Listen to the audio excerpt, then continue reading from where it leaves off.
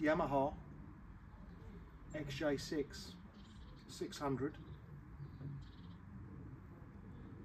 I'm going to dedicate this video to Penny. This bike got me to work up and down to London for a few years. Am I going to sell it? No, I'm not. I'm going to keep it. Doesn't cost me anything. It's extremely reliable. And it's a damn good bike. I used to have a big TomTom -tom on here. I took it off because I now use Waze on here. As you can see, it's done. How many miles has it done? So I bought it with three, I think 3,000 miles on it. It's now done 39,482. I think when I got it off Penny, I, it had 3,000 miles or just under and a full tank of fuel. Never forgot that. So as you can see, it's in fantastic condition. Had a couple of mishaps. Let me tell you about the mishaps. First one. Yes, I got another job. Obviously, it's YouTube, so I don't want to go into too much detail. But I parked this at my job, which was about a 200 yard commute. And I put a chain round here big heavy chain. So when I was on my way home, I started up the bike in the yard at my new job, forgot to take the chain off and threw myself over the handlebars because I pulled off at a bit of a rate of speed with a chain around the front wheel and off I came. So it didn't do any damage, luckily. I think this might have been pushed back a bit because the chain come up here so I think it might have pushed this back a bit. But I can't be certain. I'm not sure whether that should be this might have slightly bent because it, it did throw me off I dropped the bike.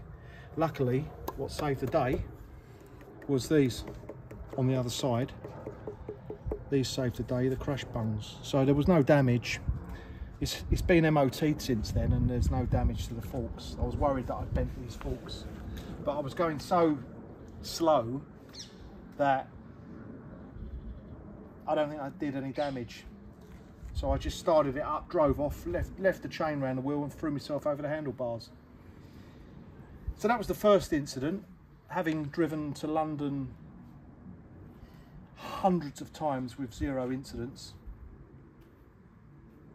And the second one was I got home, got off the bike and walked off and forgot to put the side stand down. So the bike just went straight over. Yep, it's hard to believe that, isn't it? I actually rode the bike home from 100 yards, got off the bike and went inside and forgot to put the side stand down, so the whole bike just went straight over on the concrete. That cost me, I think about 90 quid for a new mirror, this one over here this mirror was totally obliterated. It exploded as it hit the floor. So this is a brand spanking new mirror. This piece here cost me 90 quid. So I got it and I fitted it and now it's okay. Um, these bikes were used a lot for couriers.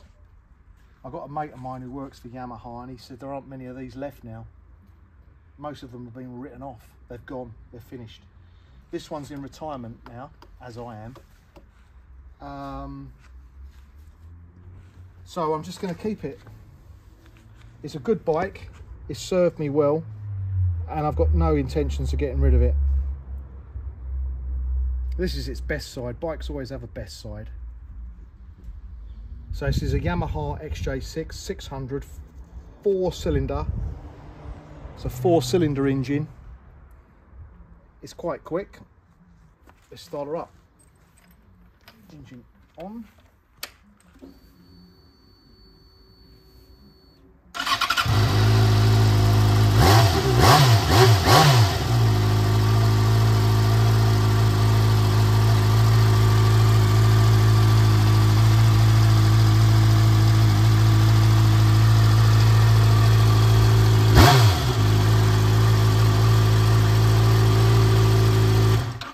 Still got the stock exhaust, this small exhaust, because it's good for the neighbours when you wake up at four in the morning. Well, as I used to. So it doesn't wake the neighbours up. It's got the little exhaust. So, yeah, I'm happy with this bike. I think I've got seven, seven classic bikes, two, two bikes modern, three classic cars, two normal cars, two tractors. What's going to be next? Let's wait and see. But I've got big plans. Thanks for watching.